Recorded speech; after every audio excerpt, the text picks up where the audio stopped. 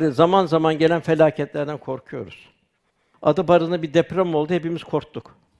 Evleri terk ettik. Binalar çatladı. Kaçacak yer aradık. Bir sel felaketi geliyor yine korkuyoruz. Acaba çok şiddetli bir yağmur. Bir fırtına geliyor yine korkuyoruz. Esas korkulacak olan günahlarımız. Onlarla gideceğiz öbür tarafa. Günahlarımızdan korkmalıyız. Dilimizden çıkan yanlış kelamlardan korkmalıyız. Merhamet ve şefkat fukarası olmaktan korkmalıyız.